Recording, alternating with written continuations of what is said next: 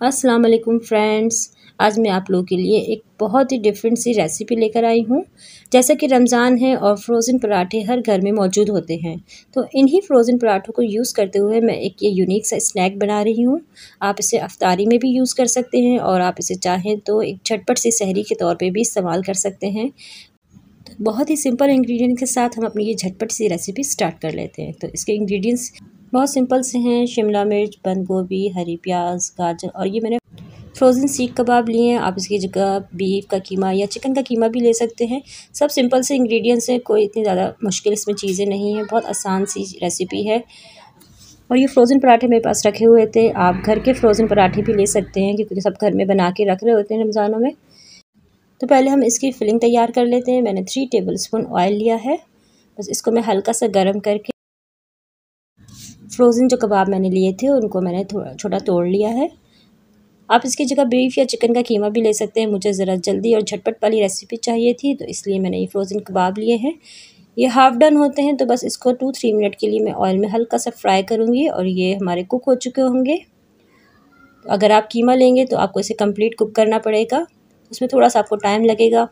और या फिर आप बॉयल चिकन भी ले सकते हैं इसको श्रेड करके वो यूज़ कर सकते हैं इसकी जगह।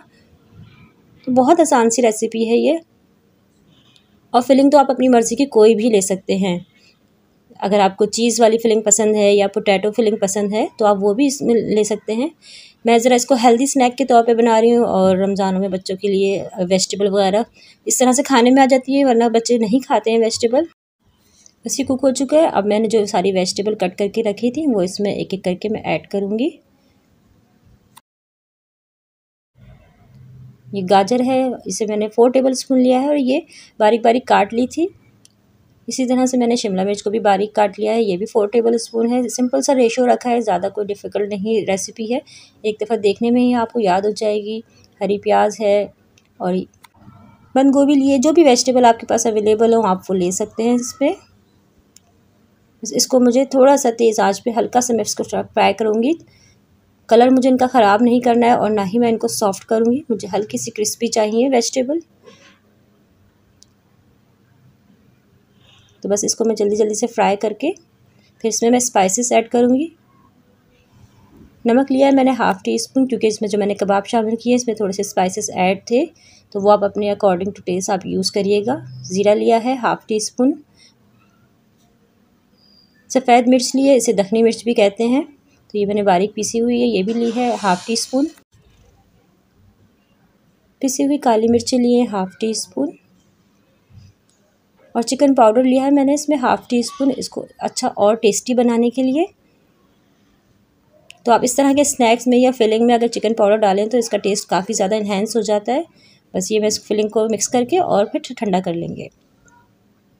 आ जाते हैं हम अपनी कचौरियाँ बनाने की तरफ़। तो ये मैंने फ्रोज़न पराठा लिया है और इसकी शीट निकाल रही हूँ मैं।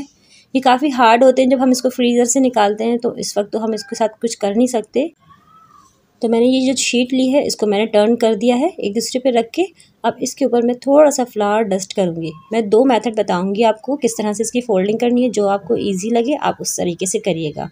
तो मैंने फ्लावर डस्ट करके इस फ्रोज़न पराठे के इसके ऊपर रखा है और इसको मैं थोड़ी सी देर के लिए ऐसे ही छोड़ दूँगी ताकि ये थोड़ा सा नरम हो जाए। तो जो मैंने फिलिंग तैयार करके रखी थी वो ठंडी हो चुकी है, वो मैं इसके ऊपर रख रही हूँ। जितनी फिलिंग आपको पसंद है आप वो इस पर रखिएगा। इसमें ज़्यादा ही फिलिंग जाएगी क्योंकि पूरा एक पराठा है तो उसी हिसाब से आप इसे रखिएगा ताकि जब कोई एक पर्सन इसे खा रहा हो तो इसके लिए इनफ हो ये क्वान्टिटी तो बस ये जब जैसे थोड़ा सा नरम हो गया तो मैं इसको इसी तरह से फोल्ड करती रहूँगी स्टार्ट टू एंड पूरा पराठे के। इसी तरह से मैं इसको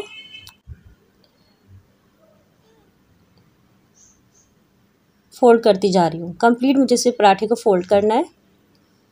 और इसमें मैं कुछ भी नहीं लगाऊँगी, ये वैसे ही इतना सॉफ्ट पराठा बना हुआ होता है, नरम होता है ये। जैसे ही हम इसे फ्रीज़र से निकाल के रखते हैं तो ये काफ़ी नरम हो जाता है।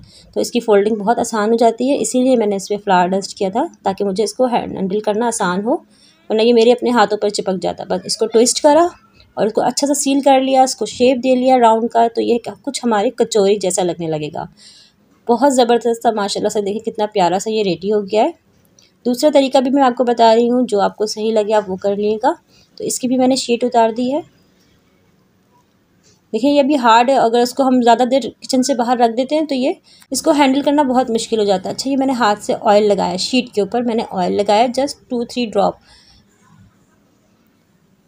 अब मैं वही सेम फिलिंग रखूँगी इसके ऊपर। आप इसे सैरी में भी बना के इंजॉय कर सकते हैं। चाय के साथ देखिए, बहुत अच्छा एक कंप्लीट समझ लें आप मील है ये। सेम इसी तरह से इसको फोल्ड करेंगे फ्लावर या ऑयल लगाने का मकसद यही है कि हम इस पराठे को हाथ में अच्छे तरीके से फोल्डिंग कर सकें। वरना ये इतने स्टिकी होते हैं कि आपके हाथ पे ही चिपकना शुरू हो जाते हैं। अगर घर के बने हुए पराठे होते हैं तो उनको फिर भी आप आराम से हैंडल कर सकते हैं, लेकिन जो ये फ्रोज़न पराठे होते हैं डिफरेंट कंपनीज़ के तो इनका कुछ अलग ही टेक्सचर होता है। तो बस इसी तरह से इसको मैंने ट्विस्ट करा है और इसको अच्छा सा सील कर लिया और हमारा देखिए कितना क्यूट सा एक हमारी कचौरी रेडी हो गई है। अब इसको मैं ज़्यादा देर तक किचन काउंटर पर नहीं छोड़ूँगी, मैं इसे डायरेक्ट फ्राई करूँगी। आप इसको छोड़ नहीं सकते क्योंकि इसका शेप ख़राब हो जाएगा। ऑयल मैंने पहले से गर्म करके रखा हुआ था तो मैंने इसमें थोड़ा सा एक ड्रॉप डाल के देखा है तो ऑयल मेरा ठीक टेम्परेचर पर है या नहीं। तो बस इसमें मैंने कचौरियाँ डालना शुरू कर दी हैं। इसको हल्की आँच पे हमें कुक करना है, ज़्यादा तेज़ आँच पे आप इसे नहीं करेंगे। ताकि ये अंदर से अच्छी तरह से कुक हो जाए और अच्छा क्रिस्पी, खस्ता हमारी ये कचौरी रेडी हो। तो मैंने चार बनाई थी, मैं चारों ही एक साथ डाल दूँगी। इसमें इतनी जगह है कि आराम से चारों फ्राई हो जाएँगे। इससे ज़्यादा आप नहीं डालिएगा। जब तक कि इसमें नीचे कलर नहीं आएगा, मैं इसको टर्न नहीं करूँगी। और आप देखिएगा कि कितनी बनने के बाद ये माशाल्लाह से खूबसूरत लग लगती है। ये कचौरी कि आप, इसको लगेगा कि शायद आप किसी बहुत ही महँगी सी बेकरी से आप ये कचौरियाँ लेकर आएँ। तो इसका नीचे से कलर आना शुरू हो गया है तो मैं इसको टर्न करूँगी। माशाल्लाह से इतना अच्छा इसका कलर आया है और ऊपर से भी ना ये खुली है और ना ही देखें, इसका कोई शेप ख़राब हुआ है। तो ये अच्छी सी गोल्डन हो गई है नीचे से, इसी तरह से सेम मैं इसको नीचे से भी कलर दूँगी। थोड़ा सा इसकी कुकिंग में टाइम लगता है, बाकी मेथड बहुत सिंपल है और बहुत जल्दी से रेडी होने वाला है। फिलिंग हम रमज़ानों में घर में इस तरह के बना के रखते हैं, समोसों वगैरह के लिए आप वो भी यूज़ कर सकते हैं। और पराठे हमारे घर में तो मौजूद ही होते हैं। तो बस झटपट इसकी मिक्सिंग करनी है और हमारी एक मज़ेदार सी कचौरियाँ रेडी हो जाएँगी। मेरी रेसिपी पसंद आए तो प्लीज़ आप लाइक ज़रूर किया करें। आपका लाइक हमारे लिए बहुत इंपॉर्टेंट होता है। आपके लाइक हमारी बहुत हौसला अफजाई करता है कि जो हम वर्क आपके साथ कर रहे हैं, जो रेसिपी हम आपके साथ पास पेश कर रहे हैं तो वो आपको कैसी लग रही है? बस जो कचौरियाँ रेडी हो गई हैं, वो मैं निकालती जा रही हूँ। मैं आपको इसका अच्छा सा कलर भी दिखाऊँगी कि कितनी अच्छी ये रेडी हुई है। देख सकते हैं आप, ये ना कहीं से खुली है और ना ही इसका कोई शेप ख़राब हुआ है। माशाल्लाह, बहुत प्यारी लग रही है आप इसके दस्तरखान की रौनक को बढ़ाने के लिए। ये बहुत ज़बरदस्त रेसिपी है, आपने इसे ज़रूर ट्राई करना है। और मुझे कमेंट करके इसका फ़ीडबैक ज़रूर देना है कि आपको मेरी रेसिपी कैसी लगी। और अगर आप इसी तरह की मज़ेदार रेसिपीज़ चाहते हैं तो मेरे चैनल को सब्सक्राइब करना नहीं भूलिएगा। माशाल्लाह से देखें कितनी अच्छी ये कचौरी लग रही है।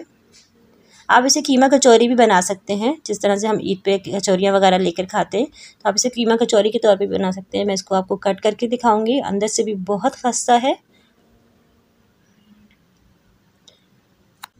मैं फ़्रोज़न पराठों से मुख्तलिफ़ रेसिपीज़ मेरे पास हैं, मैं वो भी आपके साथ शेयर करूँगी।